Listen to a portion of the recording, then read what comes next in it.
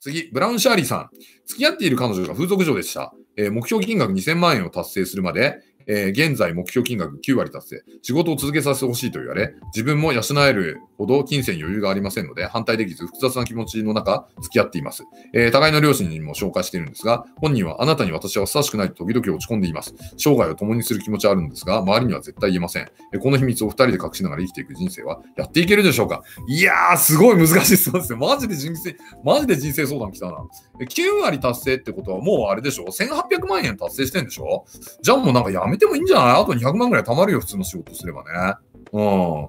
あれなんですかね、どういう出会いなんだかどうかよくわかんないですけれども、あの、ちょっと一個心配なのは、あの、あなた自身が騙されてないですか？ってことはちょっとね、あの、心配ですけど、その辺は大丈夫なんでしょうかね？そういうこと言ってなんかこう、すごい見過がされてるとかだったら、ちょっとこれ全然、あの、違う相談になるんですけれども、まあ一応その、騙されてない前提で、えー行くとですね、まあいろんなご商売ありますからね。特にはね、コメントは僕は、あのしないでおきたいと思います。で、周りに絶対言えない、えーこの秘密を二人で隠しながら生きていく人生をやっていけるのでしょうかって、やっていけるのでしょうかって言ってたら無理なんじゃない？うん。やっていけるんですよ、きっと。うん。そんなもんやっていけるかどうかは、だって自分の気合とモチベーションの問題でしょ？だそんなもん言わなきゃ別に周りの人知らないわけですさ。で、別にそんな隠してることも別に悪いとも何とも思わないし、それを言わ、余計なこと言わないってことが悪いことだとも何とも思わないので、逆にやっていけるんでしょうか？みたいな風に、えー、あの、言っちゃってること自体が逆に僕は不安ですね。こんなこと人に聞くまでもなく、もうやっていけるんだと。絶対大丈夫って思えば大丈夫なんじゃないですか？で、実際その思った通り、自分がコミットした通りに行動すればいいだけの話だと思いますよ。そんなもんわざと触れて回る必要もないしね。ね。で、自分で、あの、幸せになるように、えー行動されたらいいと思いますよ。はい。そんなも人に聞く必要もないし、人に許しをもらう必要も全然ないと思います。もしこういうことを聞くんであれば、え神社に行ってですね、神様にあのその誓いを立てていただく、えー神様に相談していただくのがいいかもしれませんね。そんな絶対言えない秘密だったらね、えー周りに絶対言う必要もないと思うんでね、はい。そんな風にやっていただければいいんじゃないかなと思うんですけど、どうですかね？はい。はい。そんな感じです。次。えー、ミサ TV さん、えーちょっとした相談、えー、過去報告も兼ねてをします。塾長の住所をたくさん購入して読み始めて、進めていることは以前申し上げました。仕事から帰宅して体調が悪い良い時のみ読書をしています。私の読み方は面白そうだったところから抜粋して項目ごと読み進めるというやり方です。具体的には経済で見てる日本史の5巻と6巻です。えー読むのが遅くて本当に申し訳ないんですが、長い目で見てやってください。現在45歳男。ああ、全然いいんじゃないですか？あの、私のね、ちなみにね、えっ、と、速読法はね、例えばこれ、まあ、掛谷先生のこれ本ですけど、あのこれね、まあ、これ、勝間さんからも教えてもらったんですけど、まあ、これ、あの、読みましたけどね、あの、読み方、まず、まあ、こういう余計なもの取りましょう。あの、なんかいろいろ入ってるんでね、新刊本。で、これ、表紙も外します。はい。で、こう読みやすくします。で、読みやすくして、で、最初ね、えーっと、まあ、この、目次をしっかりね、えー見てか、あの、構成確認するんですよ。はい。でね、最後にね、私はね、終わりにから読みますね。これだと266ページの終わりにね。はい。266ページの終わりにっていうところをバーっと最初に読んじゃいます。はい。そうすると、なんかこの本に書いてあること、大体わかるじゃないですか。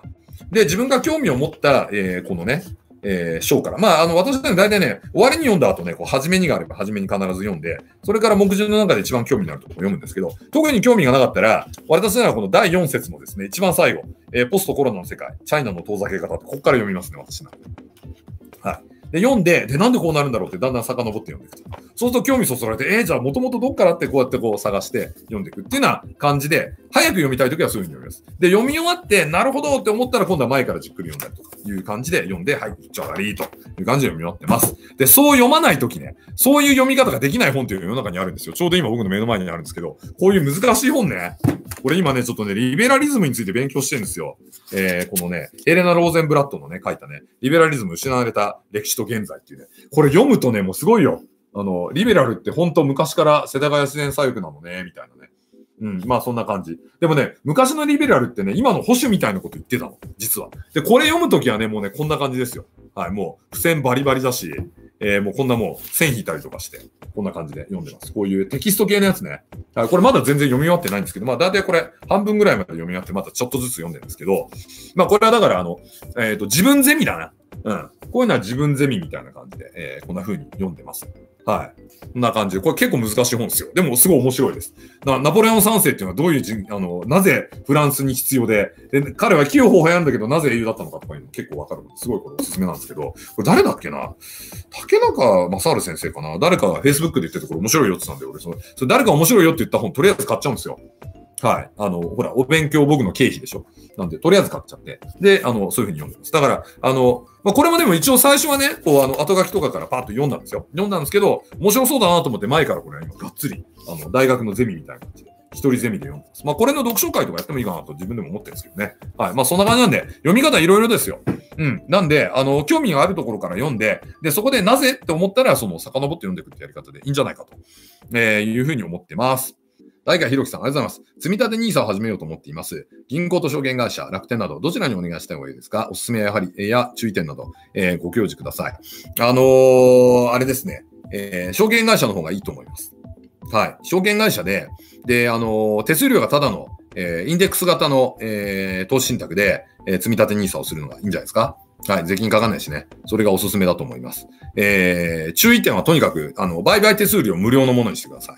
えー売買手数料無料かつ、インデックス連動。はい、インデックスは何でもいいです。あの、株でもいいし、あの、まあ、リートのインデックスでもいいし、コモディティのインデックスでもいいし、もう何でもいいです。はい。あの、とにかくあの、えー何百何千という株を束ねて一つの数字にしたもので、えーやると。で、売買手数料はただ。で、絶対、あのーあれがいいと思います。あの、えっ、と、ネット証券がいいと思います。まあ、楽天証券いいんじゃないですか。私はちなみに SBI 証券ですけどね。あの、大変満足してるんで、えその辺でやっていただければいいかなと、えーいうふうに思います。はい。でデジモン大好きさん、えーいつも楽しく拝見しています。相談です。60を迎える母がネットの影響を受けてか仮想通貨を始めようとしております。止めてください。止めてください。絶対止めてください。現状の仮想通貨は PC の熱しか生み出さないので、え投資対象にならないと思っています。そのためにどうしてもやめたいのです。常念さんでしたら、どのように説得するでしょうかそうですね。まあでも母親とはいえね、あの、他人ですからね、ある意味ね。まあ、やって失敗したらいいんじゃないですか。まあ、あえて言うと、じゃあやってもいいけど、とりあえずいくらまでやって、で、それが増えたか減ったかで次決めようみたいなね、まあ、感じかな。でも、その、今までね、リスク取ってなかったね、あの、そういうちょっとね、年いった人が、突然やり始めると結構危ないですよね。今若い子はね、もう若いうちからドルコスト平均法とかでね、投資して株とかも買ってるんで、まあ、そういう人はいいと思うんですけど、あの、今までずっと真面目にね、普通預金でお金貯めてね、現金で全て決済して、クレジットカードは借金だから嫌だ、なんて言ってた人が突然、えー、ね、ヒロシ、仮想通貨は儲かるらしいよ、みたいな感じで始めると大体失敗するんで、えーそのパターンかなと。渡る世間は鬼ばかりでも見せてたらいいんじゃないですかね。そういう回が。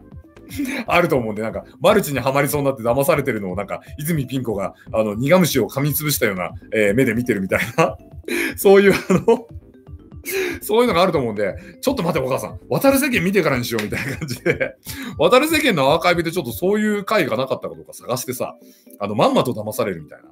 あの、松田聖子っていたじゃん、渡る世間のキャラのちょっと太った女の人さ。あれがなんかそういうので、チャラいので騙されちゃうみたいな回が確かあったと思うんで、その回を全部見てから、この仮想通貨やるか決めてくれと。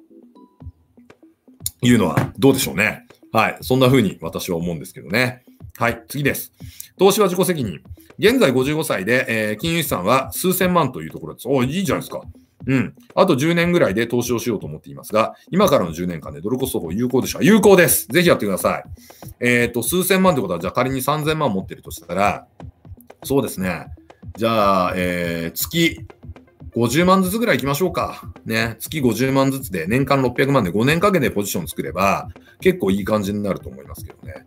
うん。あの、これからインフレになると思うんで、株を資産として持ってるのがいいと思いますよ。まあ、株以外にもね、あの、私だったらその年間、えー600万だったら200万円ずつ株、不動産、えーそして商品で分けますね。えー株、リート、コモディティという感じでやりますけどね。はい、そんな風に思います。はい、次です。宮崎駿さん。えージョーネスンさん、こんばんは。27歳男、製造業です。パワハラまがいの年上同僚と人間関係悩んで転職を考えております。耐えようと思えば耐えきれる程度なんですが、耐えてもあまりメリットがなさそうで、思い切ってやりたいことができる会社に行くべきか、耐えて根性をつけるべきか迷っています。その人以外の人間関係は良好なので迷います。ご意見を聞かせてください。あの、辞める気だったらそいつに言えばいいじゃないですか。あの、何回かその、録音して、あの、そいつのパワハラを。で、すいません。あの、なんとかさん、あの、今までちょっと黙ったんですけど、今までのこの手のパワハラ俺全部録音してて、あの、今度ちょっと弁護士呼んで話そうと思ってるんですけど、それでもやりますって感じでガツンって言ったらどうですかね。そんで暴力振ってきたりとかしたらラッキーなんで、それ訴えたらいいと思いますけどね。辞める気あったら自分でやり返して、そいつを辞めさせちゃうっていうのも手だと思うんで、録音しとくのがいいと思いますよ。うん。あのー、一週間ぐらい録音してみたらどうですかね。で、まあちょっと一番、あの、法テラスかなんか行けばタダで相談できると思うんで、弁護士にもそれを聞かせて相談して、で、その弁護士のその相談内容も録音しちゃって、で、そいつにあの、とくと聞かせてやったらいいんじゃないですかね。ええ。あの、今日夜、あの、弁護士の相談内容を、あの、あの、音声データで送るんで、それ聞いて、今後もこういうこと続けるのかあなた考えてくださいと言って、言ったらいいんじゃないですかね。はい。で、それでなんか生意気だとかなんとかとか言ってきたら、いやいや、だって何とかさんこれで俺に訴えられたらあの人生終わりますよと。あの、あんたのためを思って言ってるんですから、みたいな。あの、まあ、すみません。極めて弁論部的なやり方で申し訳ないですけど、俺だったら多分そういうふうに、あの、しちゃうと思うんですけどね。はい。あの、多分、あの、そんな感じでございます。はい。えー、フォックスイカさん、質問権ありがとうございます。引きこもりから家計を助ける方法をごご伝授いただけないでしょう。引きこもりから家計を助ける方法？まあ、引きこもりやめて仕事するしかないんじゃないですかね。私でもあの、日本の損失っていう本を宝島社のね、社のね、書いたときに、あの、引きこもりって大体8割から9割ぐらい出てきてんのね。あまあ、出てきてまた入っちゃう人もいるんですけど、あの、まあ、2、3年閉じこもってから出てくる人って結構いるので、まあ、そういう人でもこれから働ける時期になりますよ。人手不足になるんで。まあ、そういう、だから人手不足のタイミングで、あのね、引きこもりから出てきて、働くしか私は助ける方法がないと。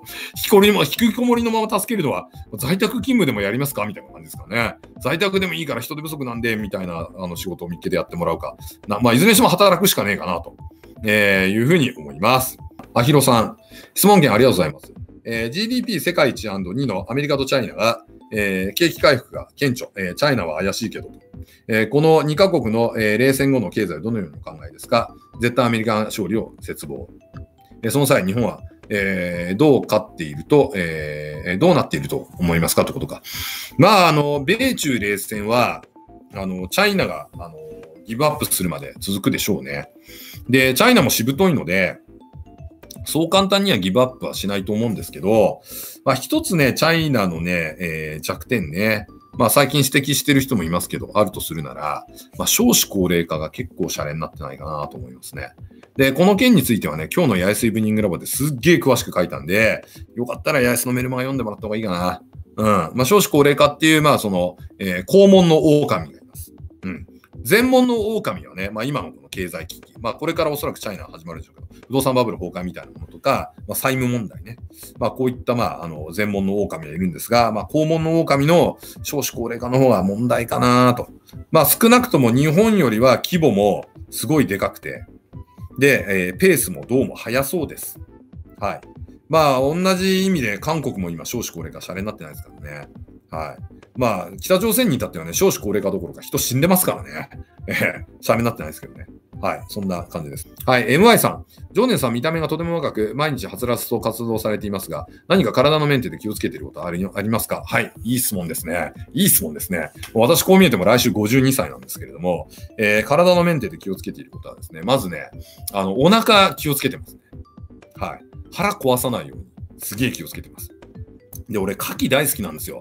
生牡蠣大好きなんですけど、今から5年前ぐらいね、青森公園で行った時にね、朝一で食った朝、あの、牡蠣で一発で当たって、食って30分後ぐらいもう、もう、すごい下痢して大変だったんですけど、それ以来ね、ちょっとね、生牡蠣控えたりとかしてね、お腹壊さないように結構気をつけてますね。はい。だから、あの、お腹緩くならないように、結構あの、乳酸菌のサプリみたいなやつ結構飲んでますね。ええ、これは、あの、かなり、あの、いいかなと、えええー、いうふうに、あの、思いますね。はい。お腹すごい気をつけてます。あと、あの、運動割とやってますね。まあ、あの今、カヤックとかですけどね。あの、格闘技はちょっとあんま、あ、でもまあ最近あるか、キックボクシングやってるか。キックボクシング、あの、柔術は最近ちょっとあんまやってないんですけどね。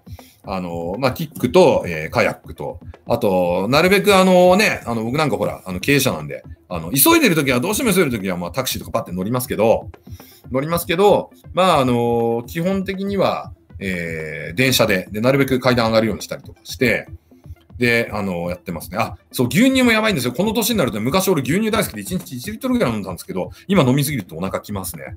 あとね、スイカも食いすぎるとダメなんだよね。大好きなんだけどな。結構お腹いっちゃうんだよね。そんな風にあの思うんで、まあ、お腹を大事にして適度に運動することですかね。うん、そんな風に思います。まあ、それぐらいしかやってないですよ。はい。あとは、その、えー、ご先祖様に与えていただいたこの体を大事にする。あ、歯もすごい大事にしてますね。はい。歯は命という感じですかね。はい。えー、っと、じゃあ、山本さん。じゃあ、これ行きましょうか。上念さんのビジネスでブルーオーシャン戦略をする気ありますか？俺ね、ブルーオーシャンはね、あんまりできないと思うんだよね。ブルーオーシャンってさ、あればいいんだけど、ないでしょ。だって、まだ誰もそこに行ってないところでニーズがあるとこ探すわけでしょ ?100 発100中でそのとこ探せるんだったら今こんなことやってないと思うんですよね、俺ね。俺むしろレッドオーシャンの方から参入して、で、そのレッドオーシャンの中で、なんか結構なんかぼやぼやした人がいっぱいいるところで差をつけて勝つっていう方が、僕はやりやすいと思いますけどね。身内が陰謀論やオカルトに傾倒しているようです。事実をつけてもいまいち納得してもらえないので、アドバイスをいただきたいです。いやーもうこれは無理なんだよななんかね、事実を突きつけるとね、ああいう人たちってなんか馬鹿にされたって感じて、なんか余計そっちに行くらしいんですよ。で、なんか、あの、弁論部の議論ってね、あの、皆さん気づいたかどうかわかんないですけど、これ1対1でやるときって、相手をイラつかせてなんぼなんぼなんですよね。ええ。相手イラつかせて、えー、イラついてんじゃんつって、またイラつかせてっていう感じで、こう、あの、そいつにマウントして叩き潰していくっていうのは、この、あの、なんていうんですか？あの、弁論部におけるね、1対1のタイマン議論の時ってそうやるんですけど、ネットって結構卑怯で、あのー、なんか周りのやつ味方につけて、その、なんか、ロジックじゃないところで、その、罵詈雑言、暴力でこう、あの、なんか押し込んでこようとするでしょ？で、根底のオカルト陰謀論っていうのも、まあ、基本的に同じで、こう、ロジックの戦いじゃないんですよね。で、論破してもなんかその、恨みに思って、で、言うことをなんかこう、かたくなにこう拒否して、こっちの言うことを拒否して信じなく、信じないっていうか、あの自分の信じてるところにガーッとフォーカスするだけなんで、まあちょっと何やっても逆効果でしょうね。まあなんで信じてしまったの？とこうカウンセリング的に接するといいって言うんですけど、俺できないからそういうのって。うん。できないので、まあ時間の無駄なんで、まあ身内だったらでも離れらんないですけどね。まあでも、ちょっと僕はもう離れるしかないかなと思いますね。そういう人からもね。うん。あの、何も言わずに距離を取るしかないかなと思います。はい。えー、今日もですね、最後まで、えー、ご覧いただきまして、あ、八重洲で腰痛が治りました。そうですね。効果には個人差がありますみたいなね、感じですけどね。はい。下手な新聞取るより八重洲の方が役に立つと思います。あ、日野さん、ありがとうございます。本当にね、これ最高の褒め言葉ですね。